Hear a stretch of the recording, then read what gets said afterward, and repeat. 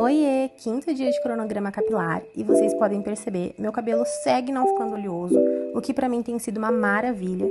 E eu acredito que seja por conta do cronograma, mas vou fazer certinho ele até o final com vocês. Então hoje é dia de Kit Home Care Lisa Indian.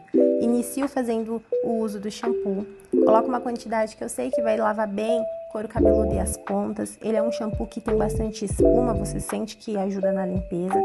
Logo depois tiro todo o excesso com água e não uso agora o creme, que no caso seria a máscara de hidratação. Eu vou direto pro après shampoo condicionador.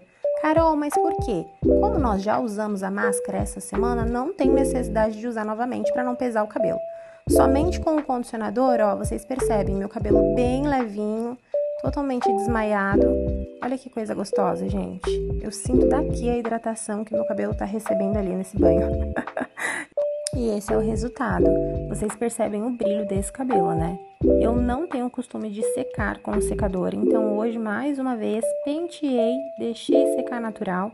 Eu tenho um alisamento. Esse kit ele ajuda a prolongar o efeito do alisamento no cabelo então, para mim, esse resultado já tá ótimo. Um cabelo bem soltinho, brilhoso, leve. Eu espero que vocês estejam gostando, porque eu particularmente tô amando.